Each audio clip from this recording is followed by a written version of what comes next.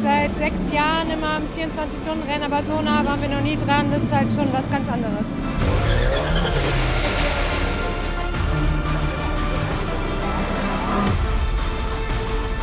Der Flug, ne, das absolute Highlight, das Ganze noch mal von oben sehen, das war schon beeindruckend.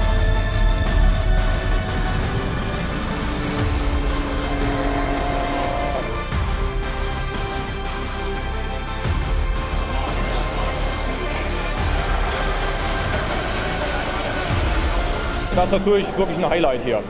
Man kann die Leute arbeiten sehen.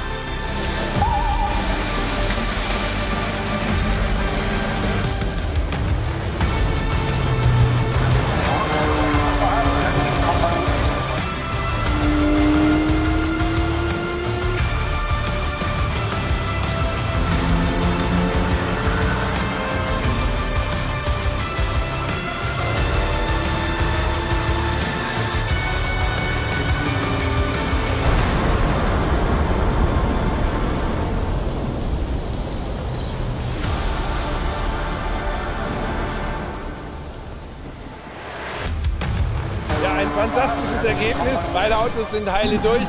Ich denke, unsere Entwicklungsarbeit ist mit dem 24-Stunden-Rennen erfolgreich abgeschlossen und wir freuen uns darauf, dass es weitergeht.